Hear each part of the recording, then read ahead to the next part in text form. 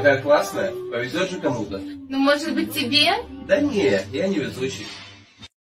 Ой, кулачок показала. Ребята, всем здорово, Саныч на свет. Такой старый-старый еще анекдот, да.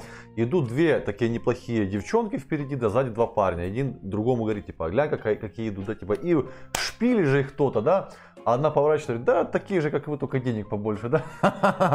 Как-то так вот. Ребята, в чем, собственно-то, везение, не понимать? Таких вот везений ходит, таких вот продол- продолговатых, вяленьких везений ходит по улице хреново куча, да? Я извиняюсь за мой французский, но тем не менее, да. В чем везение, в чем? Присунуть в пилотку, это что, везение, что ли, господи? Ну, если ты считаешь это таким великим везением, я не знаю. Тут даже констатировать, в принципе, да, не надо, да, вот это вот вот, как, как, как, как-то так.